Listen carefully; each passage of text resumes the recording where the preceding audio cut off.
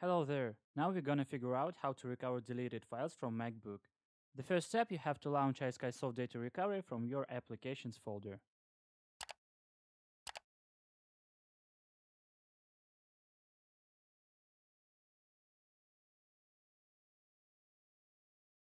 The powerful recovery engine of iSkySoft Data Recovery for Mac allows you to recover MacBook data in three modes.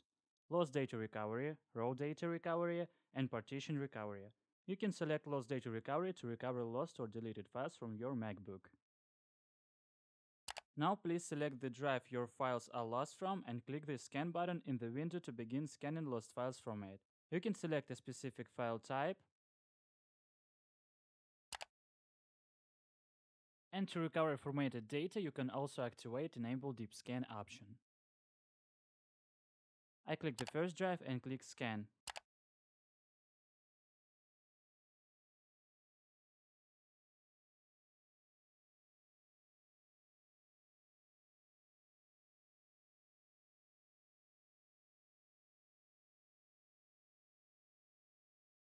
After scanning, found files will be displayed with original names and folders in the window. I want to recover some files from my trash.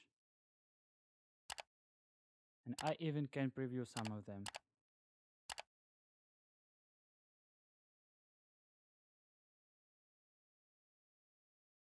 Then you have to choose the files you'd like to recover clicking on the checkboxes. And then you have to click Recover.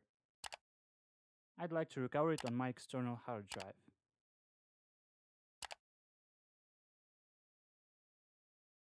There is a folder, and inside we can see all our files.